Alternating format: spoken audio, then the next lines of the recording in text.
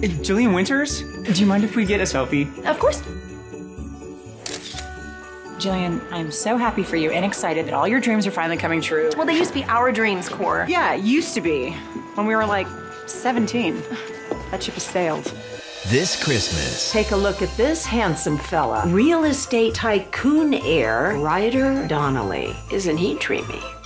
You look so familiar. Do you need help finding anything? No, I was just, uh, just looking around, see what you had is all. Okay, well, just let me know.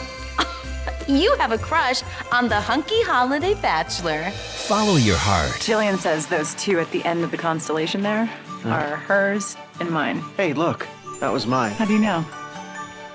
Because it crossed yours. Come back to the city with me. Ryder, I told you. I have commitments here. Just give us more time. I'm sorry. I can't.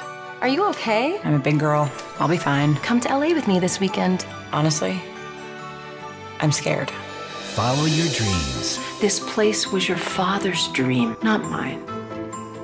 Not yours. I need just for you to be happy.